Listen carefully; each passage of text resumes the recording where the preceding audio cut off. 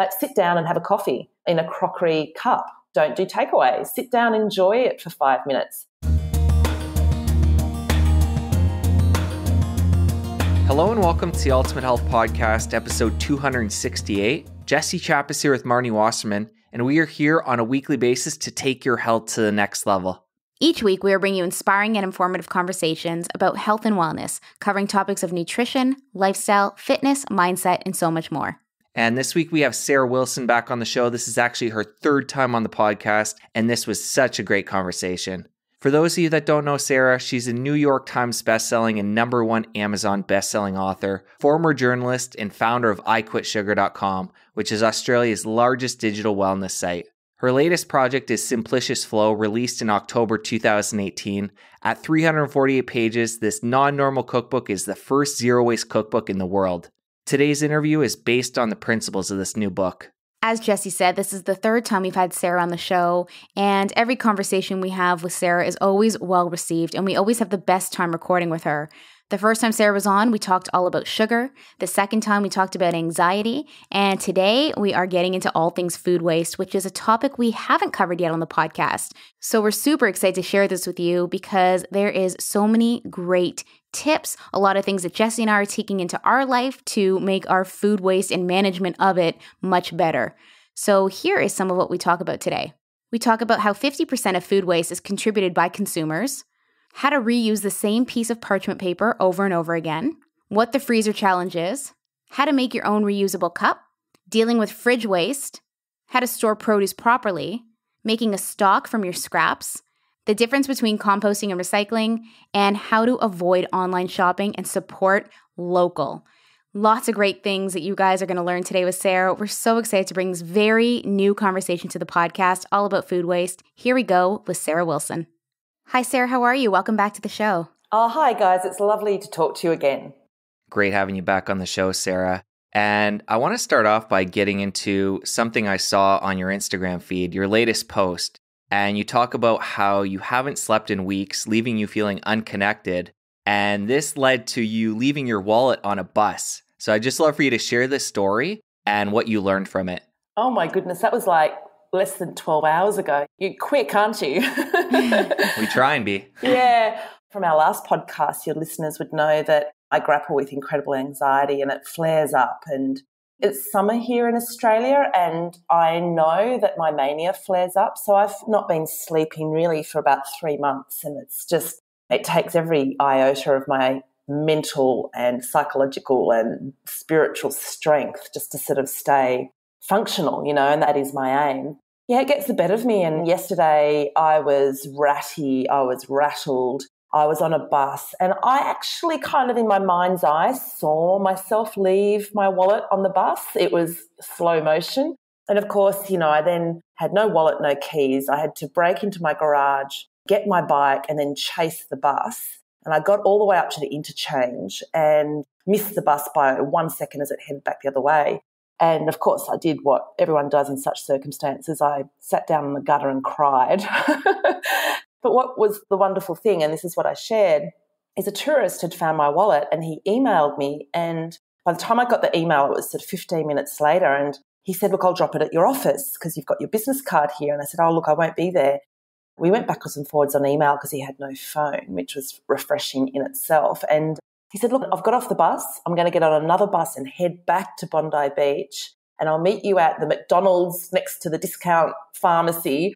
And he was there in 10, 15 minutes. And he was just so beautiful. He insisted on meeting up with me. And I just cried because I was so grateful. I'd had such a terrible day. And to have a moment of a stranger's selflessness where he just said, Look, this has happened to me before. And I want to do the right thing. So it was a really beautiful moment. And I noticed this morning it's got more hits, you know, likes than any post I've done in weeks. And it's because I think these kinds of stories where people just do simple acts of selflessness for no recompense are what we're craving right now. And I think the fact that he had had that experience made it more real. You know, you get so many people in the same situation and they're faced with, well, do I just take the cash and dump the wallet? Or do I go one step further? So, Sarah, this is your third time back on the show, and we've covered a lot of ground each time. The first time we talked about sugar and I Quit Sugar. The second time we talked about your beautiful book, First We Make the Beast Beautiful and Anxiety. And today's conversation is going to focus in on zero waste and food waste, such an important topic. And you've just created this beautiful Simplicious Flow book. So, first question I have to ask you is how did you get interested in the concept and, you know, the topic of food waste and zero waste? I've grown up all my life, Marni, I suppose, with this ethos drummed into me. My parents didn't have a lot of money and we grew up out in the country and we just lived this way. And it wasn't because mum and dad were hippies or progressive. They just had no money and it just made sense to live this way. And there was no rubbish collection service. They could only afford the gas to go into town once a week. So what food mum bought on a Thursday had to last until the following Thursday. And so every single scrap was used. And, you know, I've had a history of working in massive consumerist environments like Cosmopolitan magazine. You know, I was the editor there and I've worked in television and media and fancy realms, you know, of consumption. And I suppose I've always held my same approach. And it's not because I'm trying to make a stance. It actually is the simplest, most elegant, most efficient and real way to live. So, you know, I ride a bike everywhere. I don't own a car. And for me, it's way more efficient. I get my exercise, my fresh air, my thinking time, my freedom, as well as faster transport, you know. And Simplicious Flow, I suppose, in many ways, is the book I've always wanted to write. But, you know, making scraps and leftovers sexy is pretty hard if you don't have an audience. You know, they don't trust that you can write some decent recipes and be legit. So it's kind of the book I wanted to write eight years ago when I first wrote I Quit Sugar. And it's my biggest book. It's 348 recipes and it is the world's first zero waste cookbook because the making of it was zero waste. So I didn't use any plastic. Every food scrap was used. I got an extra fridge on set. So as we were making the recipes, I would freeze everything as I'm encouraging the reader to do. Like most things in the book can be frozen and reutilized. So if we had to make a peach crumble in like February, I use the muffins that we made in December that are still in the freezer as the crumble. I went, oh, let's use that. And in the book, I show people that you can just use a muffin from the freezer, crumble it up, fry it up in a little bit of coconut oil, maybe add a little bit of cinnamon, and there you go. So it was a massive project, and I suppose I've lived and breathed it all my life, and it's it's my final cookbook, you know, and so it was important that I did something that was not normal and actually shook things up a bit and actually got everyone talking about what is a way more important topic. I mean, a lot of people don't realize, and if I can get a little bit fact and nerdy with you just now. Please do. Yeah, I, will try not to bludgeon everybody who's listening to this. I try to keep it a gentle invitation more than a draconian edict, you know. Food waste is actually sort of looming as one of the biggest environmental problems facing the planet. So if food waste was a country, it would be the third biggest emitter of CO2 emissions in the world. So that's after China and the US. I mean, that is incredibly significant. And I think the more significant thing is that we feel defenseless. We don't know what to do. We're waiting for governments to make some dramatic changes, you know, because the planet is in serious crisis. The IPCC has come out with a report where they've basically put the alarm bells on, and it's the first time they've done it. And 2050, it's not looking good. But anyway, what I feel about food waste is 50% of food waste is contributed by consumers, us. We are the biggest contributors to food waste. So it's not like the government, it's not the supermarkets, it's not industry, it's not some big bad multinational out there. It's us. It's all of us. And so I actually find that really empowering. It's a bit like the sugar debate. You know, you guys probably remember, and some of your listeners would remember when I was talking about I quit sugar. We can sit around waiting for the government to, you know, mandate on maximum sugar amounts in food, or we can wait for industry to do a big sweeping change. It ain't going to happen in our lifetime. It's just not. The political interests are just so vested. So what do we do? We get empowered. And over the seven, eight years I've watched this debate, industry and governments changed in response to the consumer. So the same thing has to happen with food waste. We can be empowered. We can make a difference. We've got to stop thinking that the government's going to do it for us. That was my rally call. you know, you really do live and breathe it. And I love that you share the experience of the whole photo shoot and using the same, you used one piece of parchment paper, the entire photo shoot. Is that correct? Yeah. Well, I mean, I'm not about throwing things out. And I think we might have even talked about this previously. Many of you would have seen The Minimalists on Netflix, and I don't mean to bag out their work, but it's that sort of minimalist movement is often about chucking perfectly good stuff out, like to achieve some kind of aesthetic goal. And that just makes me want to bury myself under a rock. Like it's terrible. I mean, what we do is we use what we've got. The parchment paper has been made. I've had it for years from years of cooking, inherited it from some photo shoot, and it was there. So we used it. I did make a point of saying we used one sheet, and I told the entire team, all right, use it when you really need to, and then we wipe it down. And you can get 20 uses out of a piece of parchment paper or baking paper, as we call it in Australia, before you've got to toss it out. And bear in mind, it's not recyclable and it's not compostable. So you've got to use it 20 times to really justify using it. The book, as you would have noticed, is just dripping in layers of tips. My cookbooks are never just recipe, image, recipe, image. You really need to spend almost an hour on each page because I handwrite over the top of things. I share, well, you know, now you can do this. And it's a bit of a choose your own adventure kind of once you've dived in, there's no going back kind of mentality. And that's how I write the book and that's how I live everything I do. And so that's what I feel is the best way to communicate it in a way that people are going to go, oh, I get it. I want to be part of this. It's what makes it really unique. And those are lasting thoughts. All those little tips throughout the whole book are little things that people have probably thought about or maybe haven't thought about. And it just makes you think twice about all those moves that we make in our own kitchen.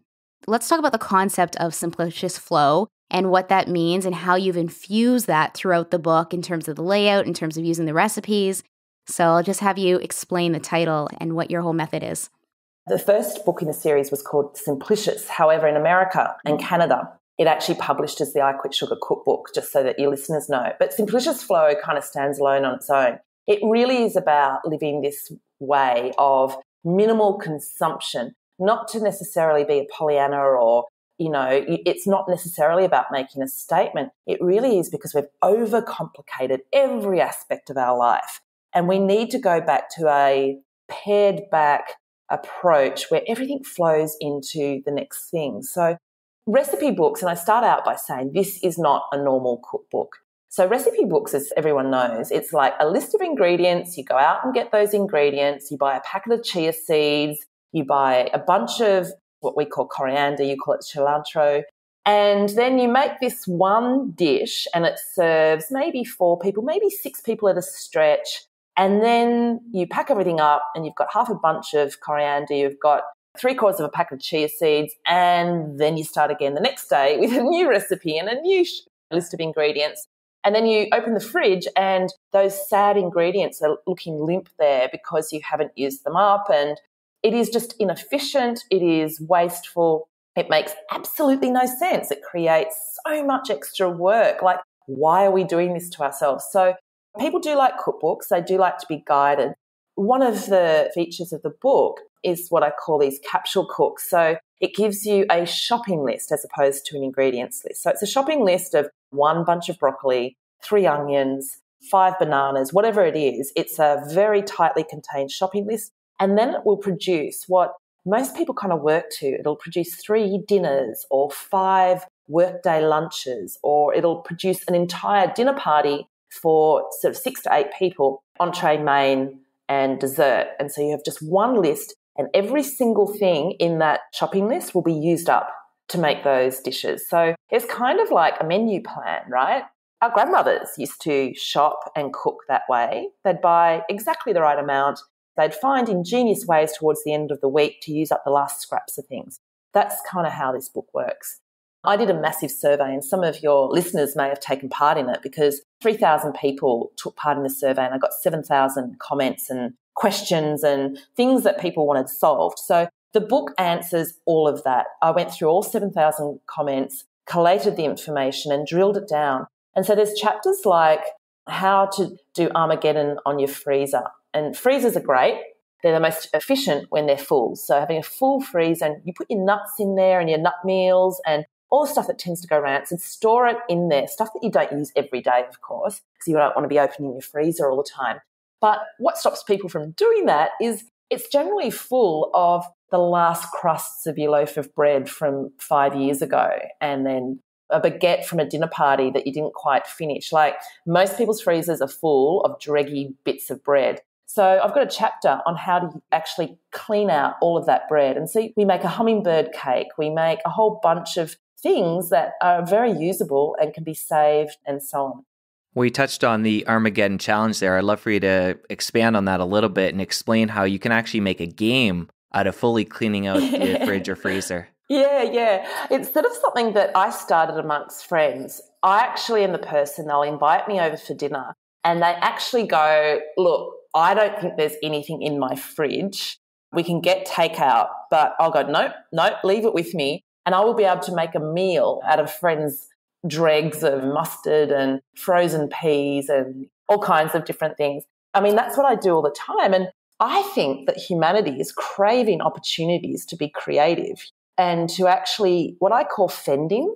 You know that I'm a mad hiker. I love hiking. And one of the things I love about it is you're out in the raw environment in a very rare situation where you've got to kind of use all your resources, your smarts, your physicality, and you're in the moment it's such a contrast to the rest of our lives, which is just micromanaged. You can pay for somebody to fix this, sort this. Everything's a mobile phone call or text or download away. So hiking is amazing for fending. And I also love the idea of make a meal out of what you've got as though it's Armageddon. And once you do that, and I find that I can do that for three nights or let's say three meals, and then I go to the supermarket or the farmer's market and I stock back up again. And everything that's in there is fresh. I've had a massive clean out. Everything's ready and clean to start again. That's how our, you know, ancestors all used to operate. I think it's not just an obligation to the planet.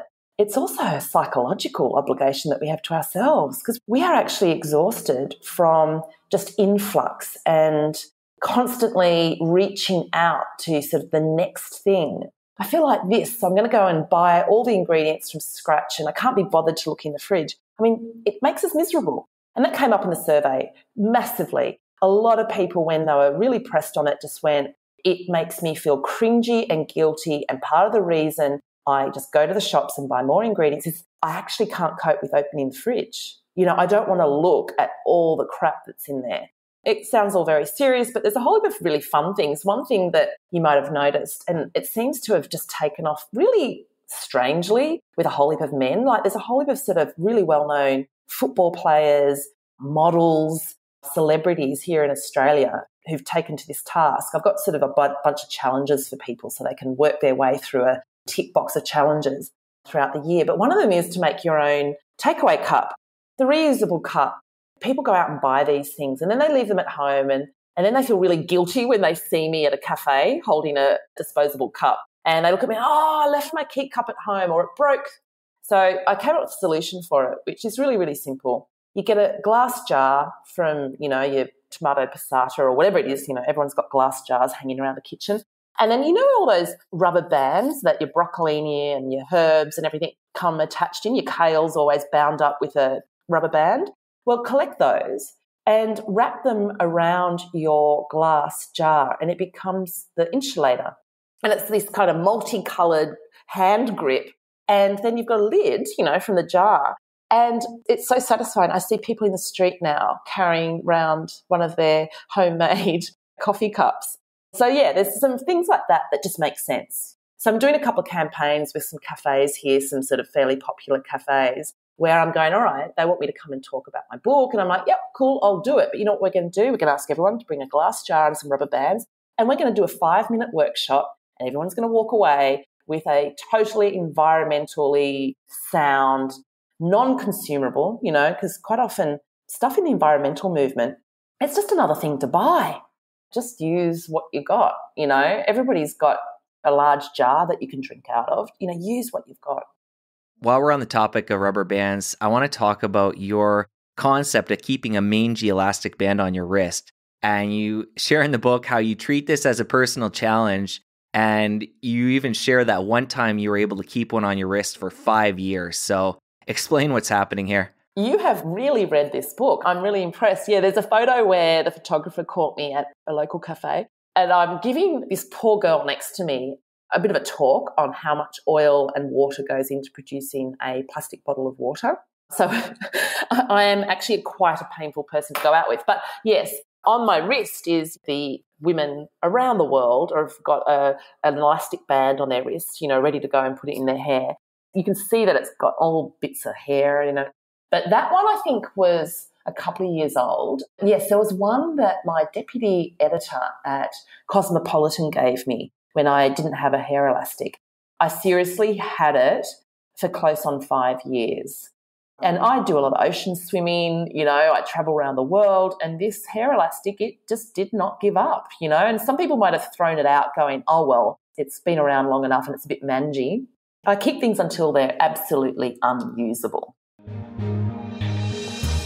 Now we're going to take a quick break from our chat with Sarah to give a shout out to our show partner, Thrive Market. One of the amazing features about Thrive Market is that they're all about giving back. They are on a mission to make healthy living easy and affordable to everybody. And when you actually go ahead and buy a Thrive Market membership, you end up donating one to a low income family, a teacher, veteran, or a student. And they also provide educational content and grocery stipends to their members who have a donated membership. And their whole mission, again, is all about thriving together. And when you do shop online at Thrive Market, you are getting 25 to 50% off of all of the healthy products that are available online. And the best part is that as a listener of our show, you're going to get the opportunity to try out a membership for free for one month, and you're going to get an extra 25% off your order and free shipping. All of that at Thrive Market. To take advantage of this incredible deal, all you need to do is go to ultimatehealthpodcast.com slash thrive market. Again, that URL is ultimatehealthpodcast.com slash thrive market. Go and put your first order in today. You are going to love their lineup of products. And now a shout out from our other show partner, Perfect Keto. I'm super excited. We just got some MCT oil powder from Perfect Keto back in stock in our house. We've been out of it for almost two months, so that is way too long to go without this stuff. What I love about it is that it's got this creamy thickness when you add it into an elixir recipe. So this morning I added it into a matcha latte and it was so delicious. It makes it creamy and frothy and we're getting the benefits of the MCTs, which is medium chain triglycerides. And what that does is it allows your brain to focus better and gets more energy and you just feel amazing. So if you haven't tried the MCT oil powder, I highly encourage you add it to your cart today. You're going to love it. Such an upgrade, such a wonderful thing to add into the mix. And as a listener of our show, you get 20% off your Perfect Keto purchase. To take advantage, go to ultimatehealthpodcast.com slash perfect keto. Again, that URL is ultimatehealthpodcast.com slash perfect keto. These products ship worldwide, free shipping in the US. Go and get yours today. And now back to our chat with Sarah. And Sarah, earlier you touched on hiking and how that's such a passion of yours. I'm curious, when you're out for hikes, are you ever foraging, like looking at what you're hiking through and maybe collecting, I don't know, dandelion greens and coming back and making a salad with those? Or are you into foraging? I have done a little bit of it.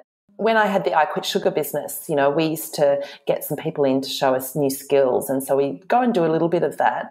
Uh, nasturtiums are really rampant here. They're pretty much everywhere, sort of semi tropical here in Sydney. And so I use a lot of those. But no, I don't tend to. Australia is a little bit different. I go out into the Australian bush, which is quite arid. Around here, it is semi tropical, but still, it's not like Northern Europe and North America, where you have four seasons, which essentially mean that in spring you have this influx of new growth and these fresh herbs and, as you say, dandelion greens and all that kind of thing. Here in Australia, it's a tougher climate and I've done a bit of that stuff out in the desert, but you really got to know what you're doing. Most people would look at it and go, that's just a whole heap of dirt, you know? I want to get back into fridge waste and freezer waste, but mainly the fridge and utilizing our produce and maximizing that. I think this is a big area of concern for a lot of people because they're either overbuying or they're throwing out a lot because they just don't know what to do with their scraps. So let's just talk about how we can manage some of the produce in our fridge and really maximize its shelf life.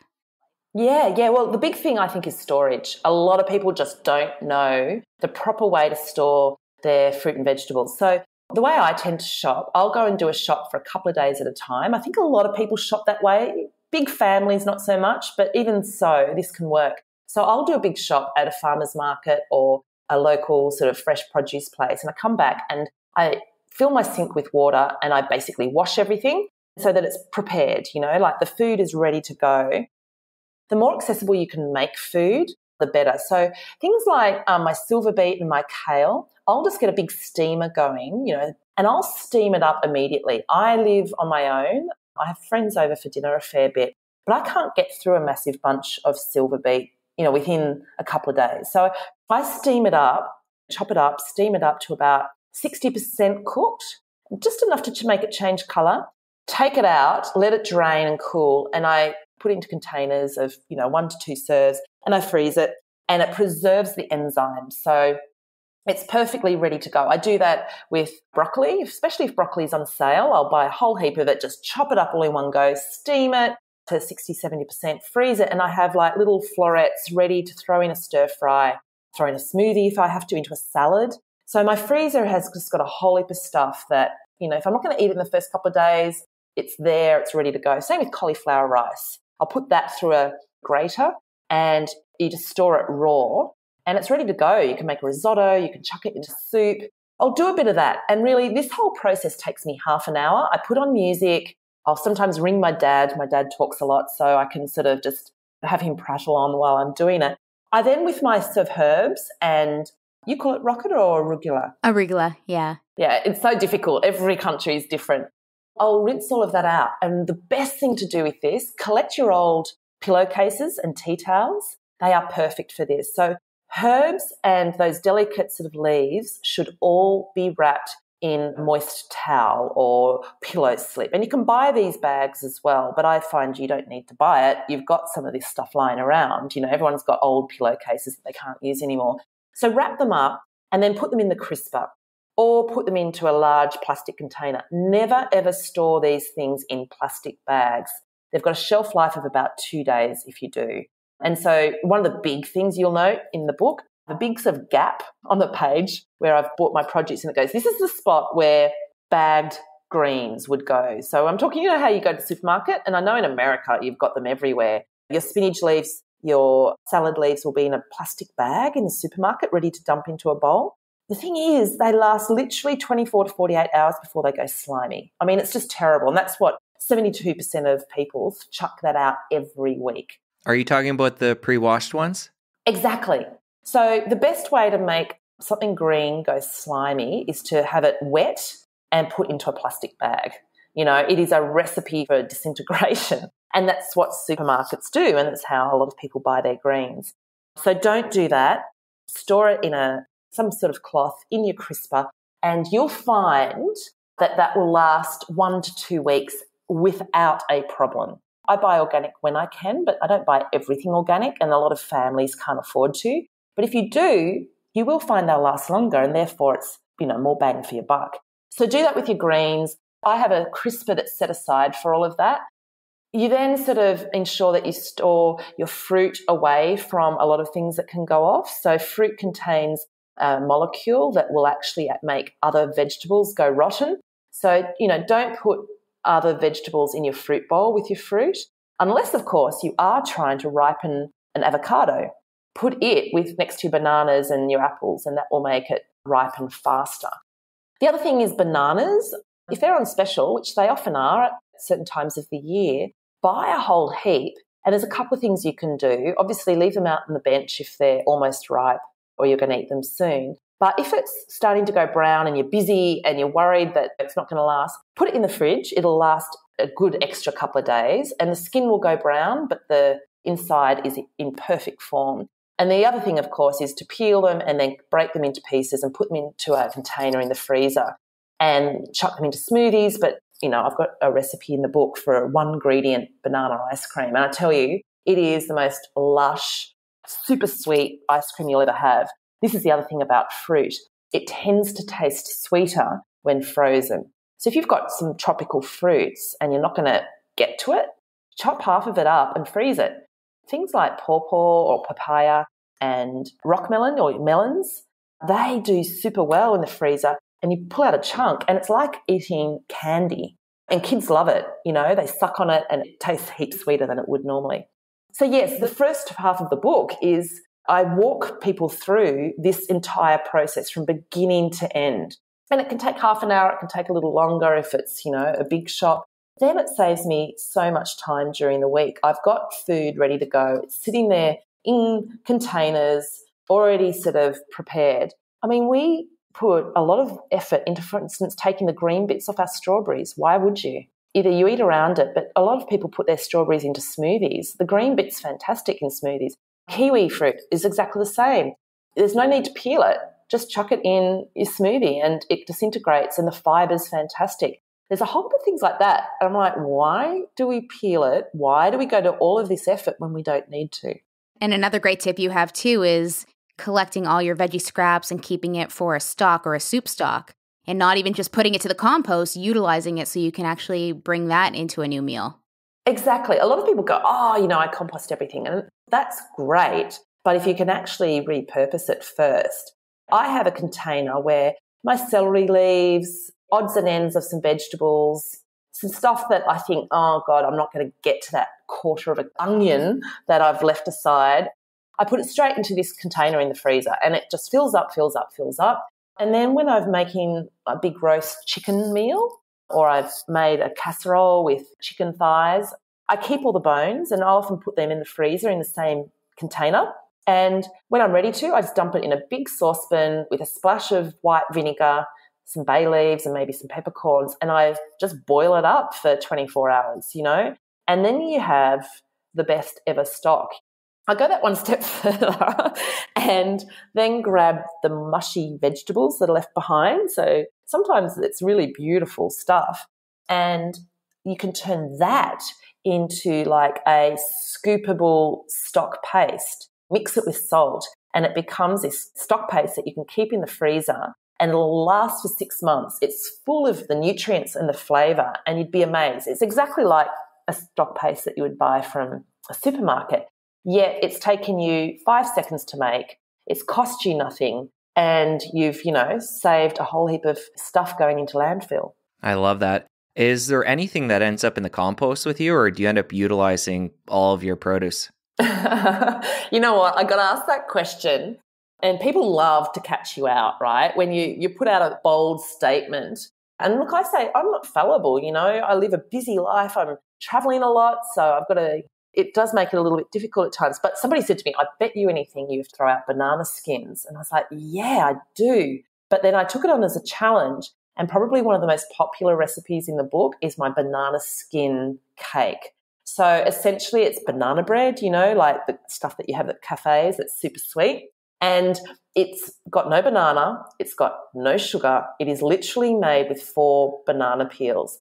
I then went that extra mile, and the main public broadcaster, TV broadcaster here, invited me onto this sort of documentary that Warner Brothers was making actually about uh, families and the history of dinner and what families ate throughout the eras. And I went on as representing the future, and they asked me to talk about food waste and sugar. And they said, come up with a recipe that's really going to cover off both. So I took the risk of cooking this cake, right, on national television.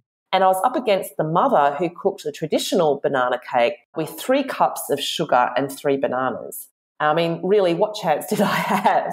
However, the kids came home from school and they had to do a taste test. And sure, they did like the sugary one better, but they actually ate mine as well and said, you know what, it's really good. My compost does have stuff in it. It sort of has the last dregs of things. I put my compostable tea bags in there. I put small bits of paper sometimes, like tissues and things like that. I will put the horrible dreggy bits in your hairbrush. I put that in there. But yeah, look, to be honest, my compost is really minimal. Like everything gets used. On the cover of the book, I've got a bunch of asparagus, and that bunch of asparagus lasts five months because we used every last bit. I pickled, I fermented, You know, the ends of my asparagus I keep as well in the freezer. And I keep the rinds of my Parmesan cheese. And this isn't an old Italian thing. You talk to any sort of nonna back in Italy, this is what they do. They keep their asparagus ends all throughout summer. They freeze them, they keep their Parmesan rinds, and then they put together and boil it up into the most lush stock you've ever, ever had. And it's just amazing for risotto, but also for vegetable soups. I find a way to use up most things. And if I was to drill it down, in some ways it comes down to laziness. Like it is easier to use up something and to be in action, if that makes sense, and kind of creating than to kind of find ways to get rid of stuff and block it out and dispose of it and deal with mushy kind of garbage. Like you said before, it's a sport. And when things do need to be composted, you talk about this really interesting compost bin in the book. I want to get the pronunciation right here. I think it's called the Bokashi bin. And this is a composter you can have at home. We hadn't heard of it before your book, but we went and looked into it after, and I think we might invest in one. And it's just really cool because it has a little spout on the bottom. And as it's composting, you get a tea that you can use to put on your plants as they're growing. And you're actually creating compost at the same time. So just talk about that a little bit. Yeah, it is an Australian company, but I believe they do sell overseas. And there's probably comparable ones overseas as well. But it's a really simple setup. It's not a big bin, it can fit under your kitchen sink. And as it fills, one version of it has a really great spray that helps it break down a little faster. And the one I use has these sort of chips. It's like you just put a handful of these chips in it. it absorbs the smell. It just means that you haven't got this really rank smelling compost bin in your kitchen. So it means you can have it in your kitchen.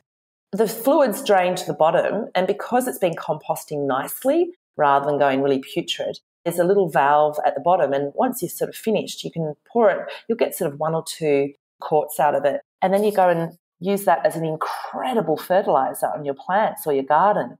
And my plants, I've got sort of pot plants in my house. I live in an apartment building, but we've got a communal backyard. I go and dump it down on sort of the flower beds and they just go mental for it. You know, it's really nutritious. And then, of course, I dig a hole in the backyard. At times, I've been known to go and sort of just find communal sort of stretch of garden outside in the street.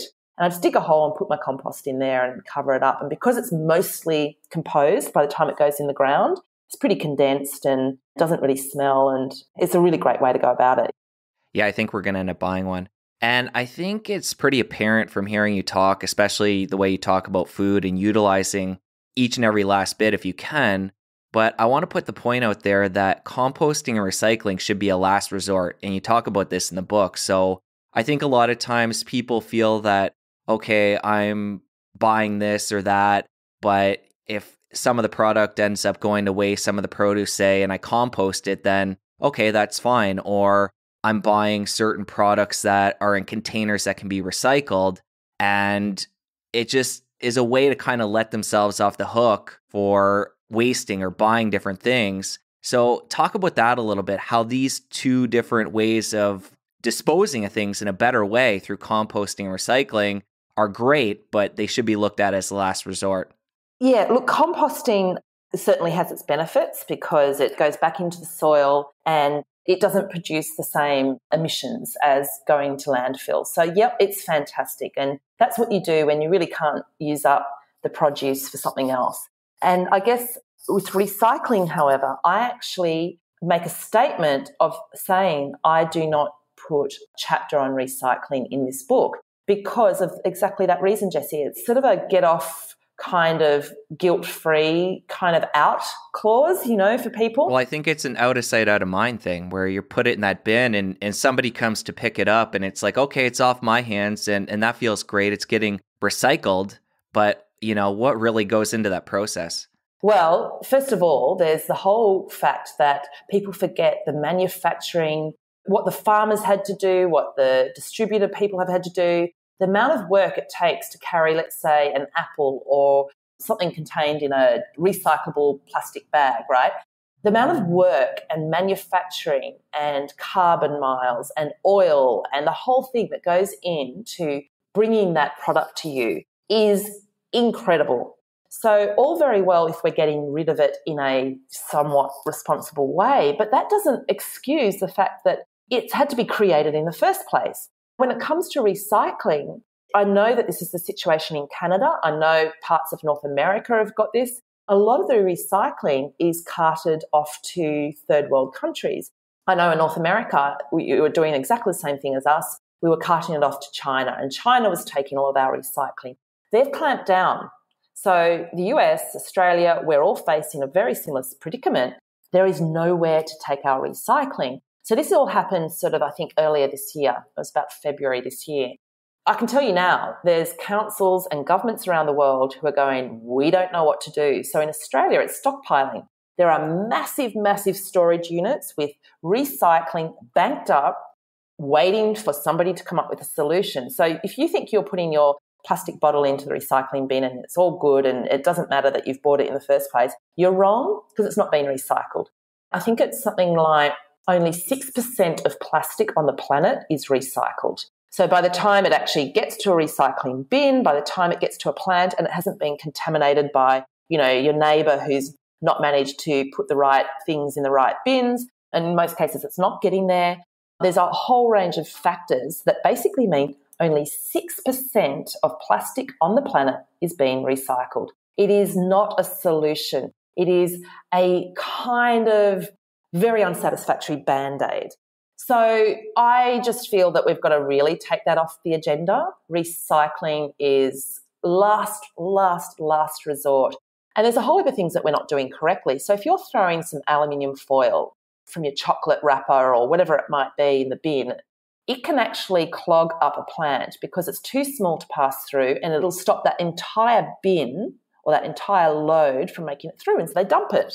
So you, what you've got to do is you've actually got to know that you've got to screw it up into save up your chocolate wrappers, screw it up into a ball at least the size of a golf ball.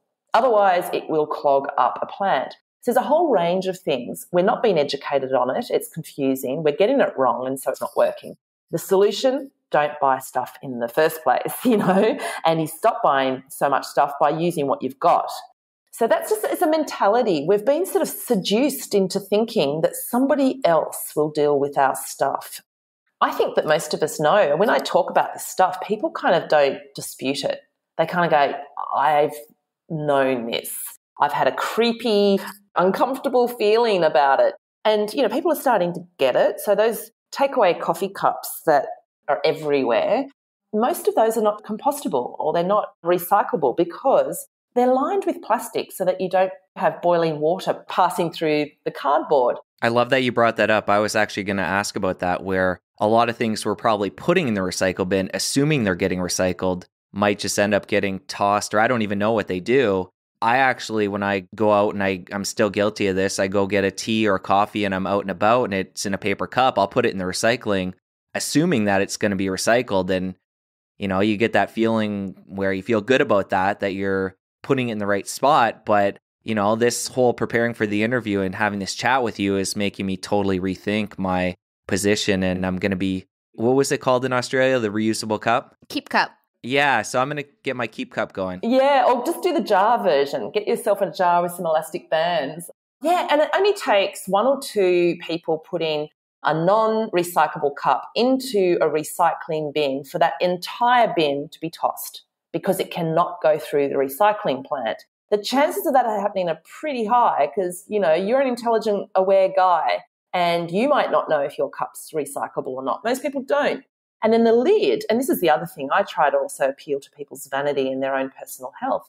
Those plastic lids contain BPA. And I know in Canada for a fact that's been banned in babies' bottles, in a whole range of sort of containers. It's been proven to be highly toxic. And it's most toxic when it's heated.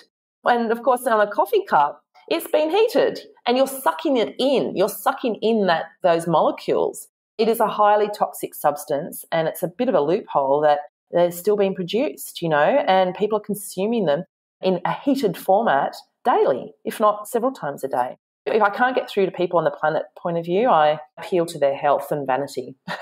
For sure. And it's also relevant. Like we've got plenty KeepCups at home, actually. so there's no shortage of them there, which again comes back to the consumer problem. So it's just a matter of going one step further. A lot of the times that we're using our reusable cups is when I'm making something and we're going on the go. But In Jesse's case, where he's going a lot to tea shops, he's just got to bring it with him. Put it in his backpack, bring it with him, give it to the barista, say, fill this up.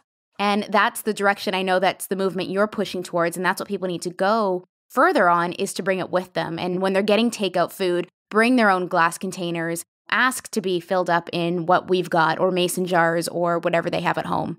Yes, exactly. And look, there's other things. I go that step further because it's kind of what I do. And I know that I get impact and people start to notice.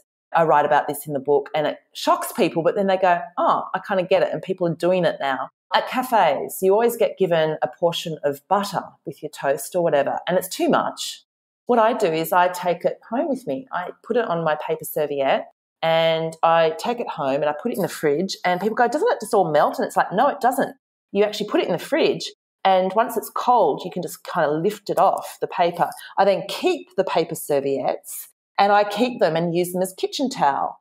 And I have to confess, and I've said this previously at a few talks I've done, so I'll, I'll tell your listeners, you will be horrified at times when I've been in a situation where I've not had toilet paper in my house. I have had to resort to using these paper serviettes that I've taken from cafes around the world. Buttery as well. well, I choose, I try to get the ones. See, I actually collect them all, right? Because people get these paper serviettes. Most of the time, they don't even use them. And then the waitress or waiter comes along and clears them all up and throws it in the bin. I've just got a big stack in my drawer, and some of them are not buttery. Yes. and Sarah, don't you sometimes collect the bones and butter of other people as well and bring that home? Aren't you just glad that you don't live in the same country as me and we're not going out for dinner anytime soon? You're living it. yeah, so there's this wonderful re- look. There's a very, very well-known restaurant here in Sydney, and I used to live above it in one of my temporary Airbnb setups when I was, you know, living out of a suitcase. And I wrote one of my books there, and the waiters used to look after me, and they got very used to this. But they had this big T-bone steak on the menu, and I'd sit there working away, and I'd see these people eat these T-bone steaks, and either they wouldn't finish them or the bone would be left there. I go, hey, you know, you could take that bone home and you can boil it up and make an incredible broth, and the gelatin's going to be great for your health. And they look at me a bit strange, and I say, all right, let me take it home. I'll take it home. And so what I do is I take strangers' beef bones home. Sometimes, and on two occasions I've done this, I've invited them to meet me back there a couple of days later. So I make up the stock and I come back with a jar of the stock for them. And then I say, look, you can find the recipe in one of my cookbooks or on my website. So, you know, I'm trying to convert people, you know, one beef bone at a time. Now we're going to take another quick break from our chat with Sarah to give a shout out to our show partner, Sunwarrior. If you haven't tried Sun Warrior's Sol Good bars, they are amazing. They are totally plant based, soy free, gluten free, non GMO, dairy free, and they are filled with 17 to 19 grams of protein. And they even come in four different flavors coconut cashew, cinnamon, salted caramel, and blueberry. And Jess, you've been loving the salted caramel lately. I love all four of them. I love having them on hand at all times, having them as snacks in between meals, bringing them on the go. They are fantastic. And as a listener of our show, you get 10% off all your Sunwarrior purchases, including the Sol Good bars. And to take advantage, it's super easy to do. Just go to ultimatehealthpodcast.com slash SW. Again, that URL is ultimatehealthpodcast.com slash SW. For listeners in the US and Canada, you can bundle your order together, spend $100 or more, and you get free shipping. Go and load up your cart with Sol Good bars like we do. You can thank us later. Now I'm going to read one of our fabulous reviews coming from Hey Samantha 18 from the USA. It's titled Ultimate Health and Life Podcast, and she gave us five stars. I have loved scrolling through Marni's Instagram, listening to nutritional tips on their podcast, and of course, learning all things health. I've struggled a lot with body image and acid reflux over the years, so hearing ways to heal my body and eat naturally and feed my body healthy and pure foods is exactly what I needed. Thank you for being such genuine people. Well, thank you so much, Hey Samantha, for checking out my Instagram at Marni Wasserman and for taking the time to leave us this amazing review. We thank each and every one of you who leaves us a review. It means so much to us. Thank you so much for the kind words, Hey Samantha. We really appreciate it. And if you haven't had a chance to leave us a review yet, it's super easy to do. All you need to do is go to ultimatehealthpodcast.com slash apple. Again, that URL is ultimatehealthpodcast.com slash apple. Leaving a review really only takes about 30 seconds and it means the world to us. So thank you ahead of time for taking the time and leaving us some kind words. And now back to our chat with Sarah.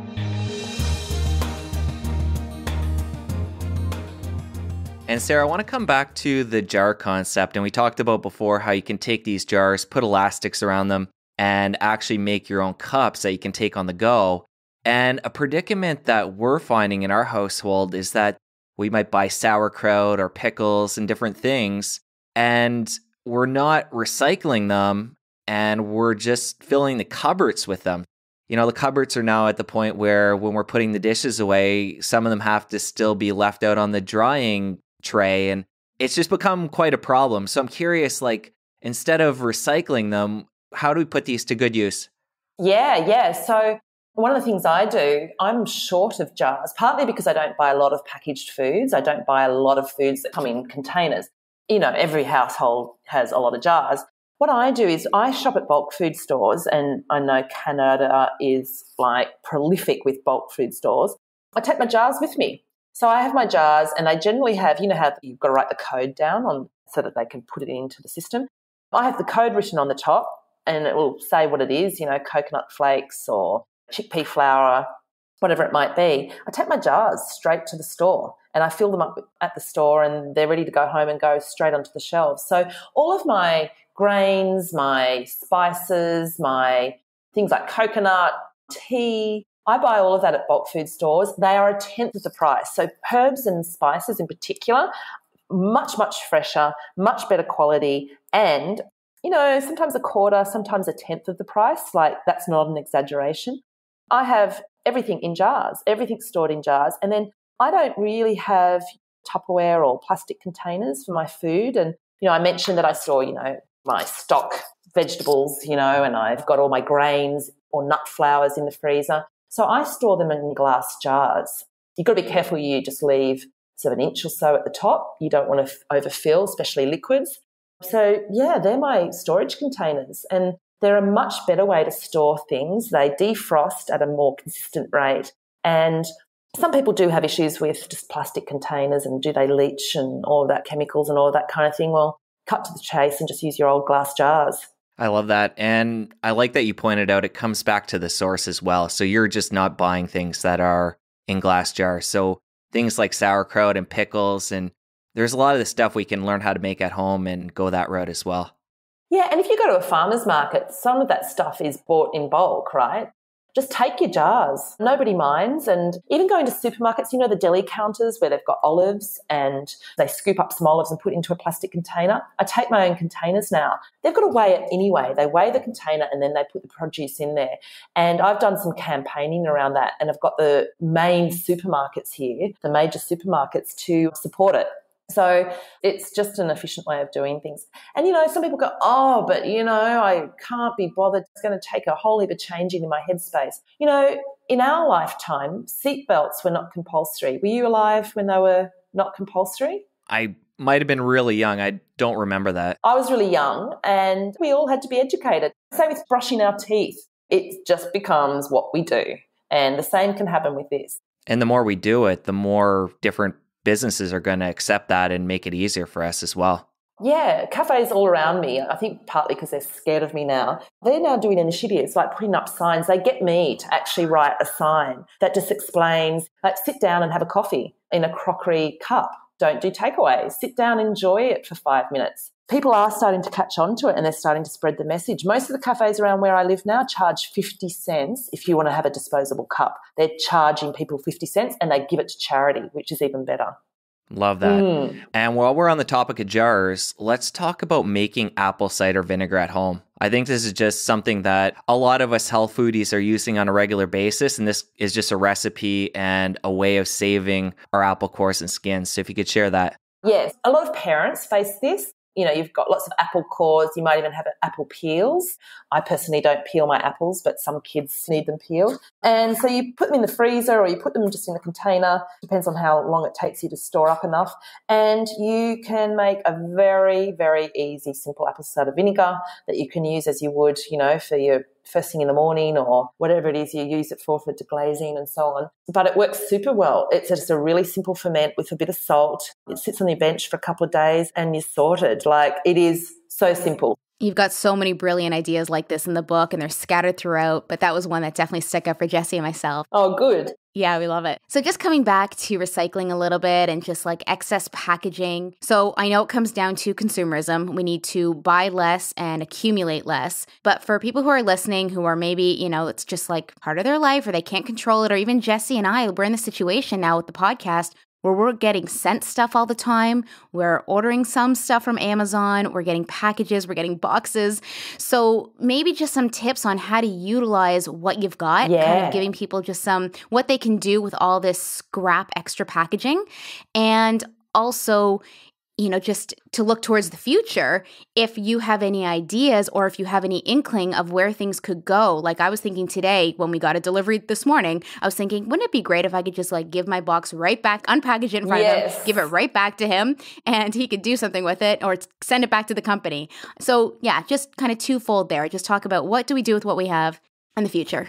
Well, the first thing I would say is really think about people love online shopping and they think it's changed the world. It certainly has, but it produces so much packaging and I find it abhorrent. So I avoid online shopping as a starting point because it comes with all of that packaging.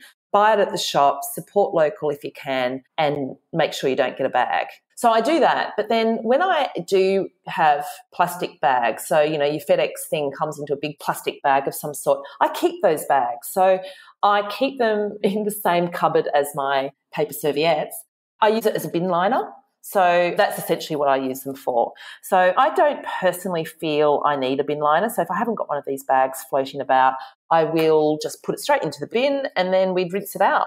It was just simple. And I don't have a lot of rubbish and I don't have a lot of revolting rubbish because everything gets used. You know, I'm not putting old bones or revolting, you know, sort of apple cores in my garbage. So Yes, I keep those bags and I use them. Like it's insanity that we get given these bags, we then throw them out, then we buy new bags where we could actually use the bags we've already got for lining a bin, for instance.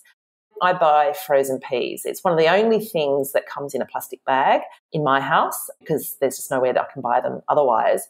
And I use even that small bag as my little bin liner. It'll only last most families for one meal, but a lot of families are going their big garbage bin on a daily basis anyway. So just start thinking along those lines. Also, takeout as well is a big thing. There's simple things you can do. Go and pick it up and don't get the plastic bags and all of that and take your own containers. So takeaway places are more than happy for you to do it. I do it if ever I'm getting takeout, which is not that often, but I like the walk up the road. Go for a walk, enjoy your evening rather than sort of sitting comatose in front of the TV. Go for a walk with your partner, have a chat, get them to put it into your container, or at the very least, when you order it, and I know you can do this in the States, is say food only, which means none of the cutlery. You're at home, you've got your own cutlery, no serviettes, no plastic, no blah, blah, blah, just food only. What about boxes and what about like cosmetic containers and supplement containers, things like that? Yeah, they're tricky. So I get my facial oil, my body oil, my shampoo, everything from bulk food stores. I have, you know, old containers and I go and take them in and I fill them up. So I use almond oil on my face and my body. And I tell you what, a litre of the stuff costs a couple of dollars. It is the cheapest body oil. And then I'll just add some rose oil or lavender oil to scent it.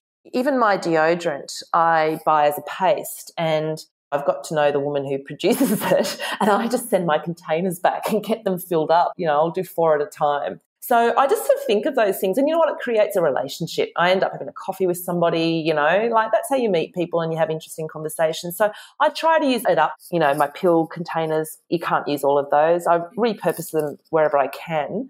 Boxes are tricky. Again, I just try to avoid buying things. I go for 13 months, nine months at a time without buying anything other than groceries and toilet paper, if I remember. But um, I'm wearing clothes from when I was 18, you know, so I'm 44. Those famous shorts? The famous shorts, yes, the famous shorts. They actually have become a bit of a thing. And in fact, I have to confess, I've worn them for 11 years and I wear them daily, but I'm on my fourth pair. And people have bought them for me because it's become such a joke, you know. They'll go and buy me another pair when the pair I'm wearing have got holes in them and they're indecent. you know, so yeah. But you know, I, I'm wearing clothes from literally last century and I look after things. Sometimes they'll get cuffed and I'll shorten the hem. It's quite a lot of freedom in not spending your life at the shops. I love it. I love that you're living it, you're breathing it in every element. I feel like we can just kind of throw anything at you, you know, your your beauty care, your clothing, and you've got an answer of how you are doing this. So it's really inspiring, Sarah. Thank you. And I think we could probably talk for another hour, but we will wrap things up.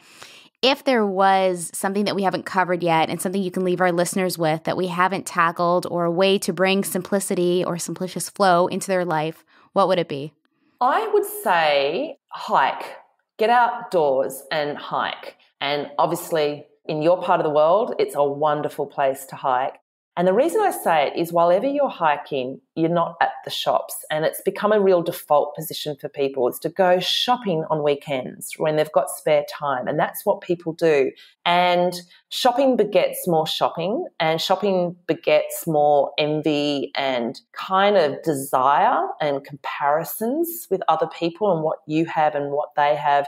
I literally find myself out hiking and I don't see the billboards. I don't see the advertisements. I know I was in a train station. I saw some billboards of a girl wearing these really cool looking yoga leggings. And all of a sudden, I can feel myself wanting them. If you're not exposed to it, you find yourself not shopping. And I mean, I guess the simple formula is people say to me, Oh, how do you live your minimal way? And I say, It's really easy. I just don't go to the shops. I just don't go to the shops. well, that's a common thread throughout this whole interview going back to the root, not going to the shops and, you know, not consuming when we can avoid it. So it's miserable, it's boring, it's addictive, it keeps us in a trap, you know, and you just sort of find yourself not going to the shops and then you go, Do I need to go up there and buy another pair of underpants? No, I'll just put that off for a bit longer. I'll see if I can go another two months without having to go and buy a new pair of socks or whatever. You find that you just don't need it. It's just kind of really finding freedom from not being near shopping venues.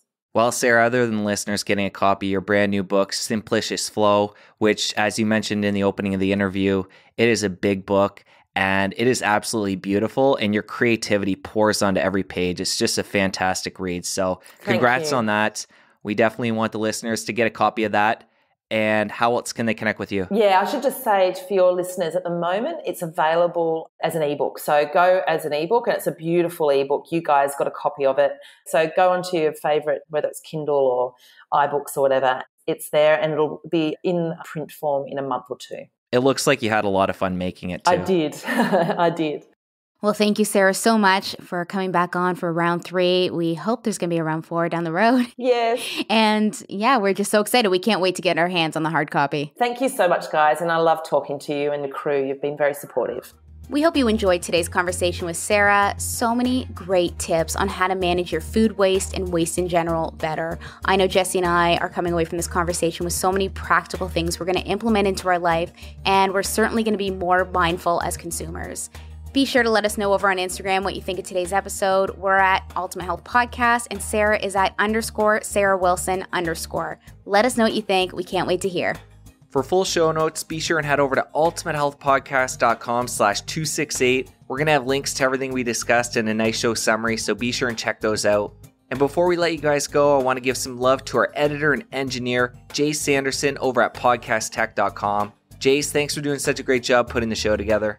And this week's fun fact about Jace is that him and his fiance Edith are moving to Prague this week. Congrats on the big move and wishing you guys all the best on the next chapter. Listeners, have an awesome week. We'll talk soon. Take care.